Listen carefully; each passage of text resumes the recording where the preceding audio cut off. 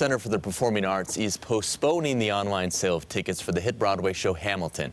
Tickets were supposed to go on sale Monday, but now out of an abundance of caution, that's not going to happen after all. DCPA says they still hope to host Hamilton starting August 12th at the Buell Theater, but admits plans may change as this situation evolves. So let's turn to weather now. David, dumps